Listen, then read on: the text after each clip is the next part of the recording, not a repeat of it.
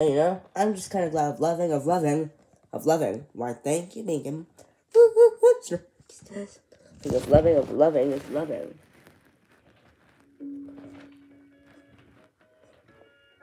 Well, you know,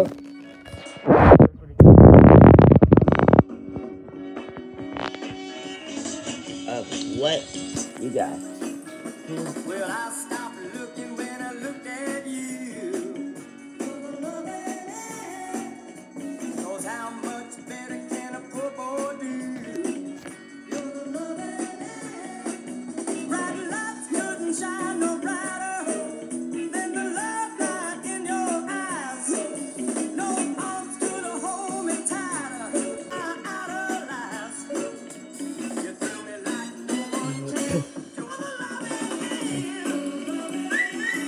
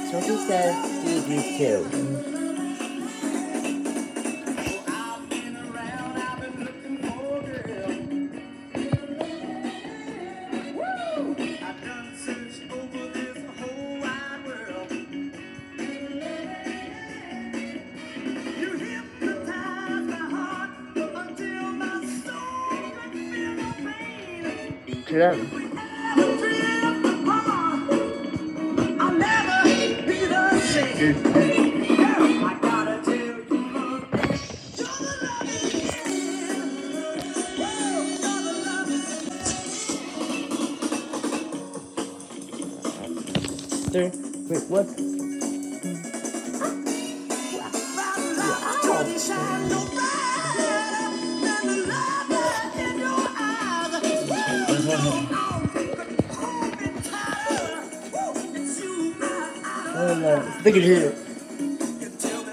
no one can. The